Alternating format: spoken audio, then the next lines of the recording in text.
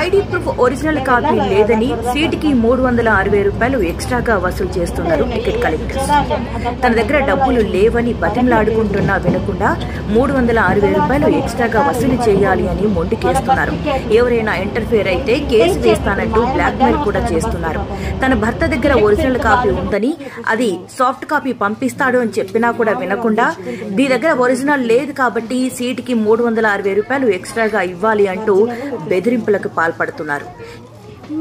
పక్క వాళ్ళు ఎవరైనా సపోర్ట్గా మాట్లాడితే మీరు పే చేస్తారా అంటూ బెదిరిస్తున్నారు. ఎవరు అడగలేదు? అక్కడ అడగండి తెలుసుకోవాలి. బుకింగ్ చేసి అక్కడ